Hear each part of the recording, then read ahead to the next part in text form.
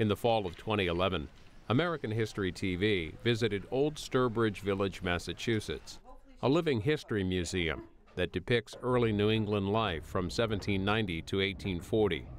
On American Artifacts, we hear from costumed historians who present what it was like to live and work in 19th century New England. Curator Thomas Kelleher serves as our guide. Old Sturbridge Village is not some little town caught in a time warp or anything. What it is is a crea- recreation of kind of a, uh, a sampling of rural life in New England at the time when society was really transforming from the, um, the old order to the modern world we live in today. We're showing you the decade of the 1830s. So the American Revolution was a couple generations ago. It's as far away from them as, as World War II is to us. The Civil War is still a generation in the future. There's all sorts of rumblings about slavery, but they don't know what's going to happen in 20, 30 years any more than you or I do. So that's the time period to keep in mind. 1838, push comes to shove, that's our default year. There's 26 states in the Union, Michigan being the most recent. The population of the United States is probably around 17 million or so people. Of course, they do a census every 10 years, so we don't quite know yet, but it's probably about that. Um, it was 13 and a half million back in um, 1830.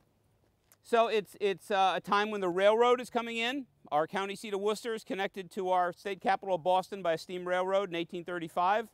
They start making regular transatlantic steamship service from England to Boston by 1838. So it's not quite as old fashioned as some people might think, but um, the telegraph is patented in 1837. So just to give you some kind of things to hang your hat on.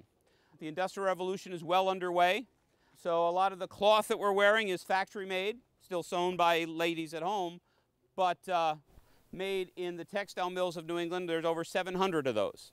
But most people are still living on farms, um, following agriculture in the land, growing things like corn over here, and living in fairly modest homes. The home behind me is on the smaller end. It's one of the few we actually built here. That's about 600 square feet, which represents about a quarter or so of the, um, of the housing stock of rural New England. So America was not only a younger nation, but a poorer nation than it is now. Most of our buildings, though, are antiques that we've moved here from the six New England states. We've opened to the public in 1946, been open ever since, as a private, not for profit educational corporation.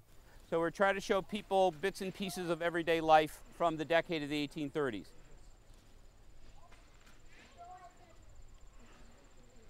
You can watch American Artifacts every Sunday at 8 a.m., 7 p.m., and 10 p.m. Eastern Time on C SPAN 3's American History TV.